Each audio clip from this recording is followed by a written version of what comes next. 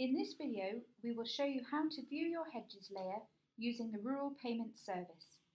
From the Business Overview screen, scroll down the page and click on Land. On the Land screen, click on View and Update Land. You will see a list of your land parcels.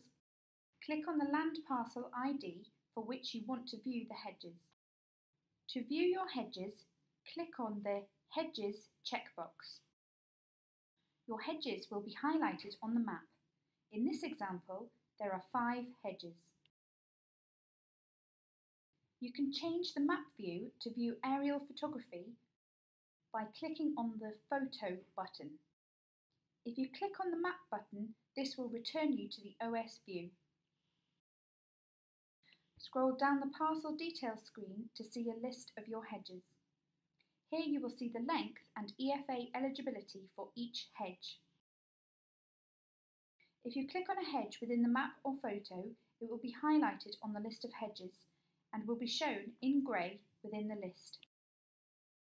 You can also click on a hedge in the list and the corresponding hedge on the map will be highlighted in magenta. Make your map larger by clicking on the Expand icon.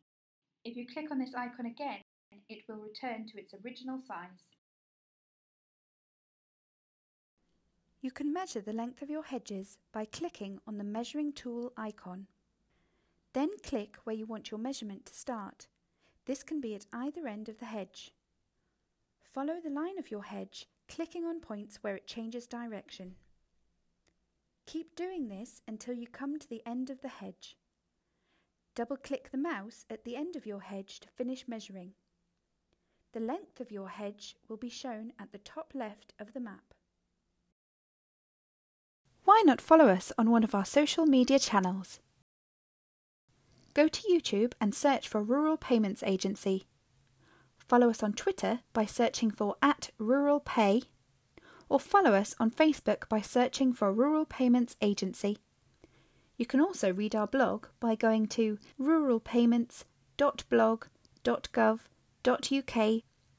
You can scan this QR code to visit our website.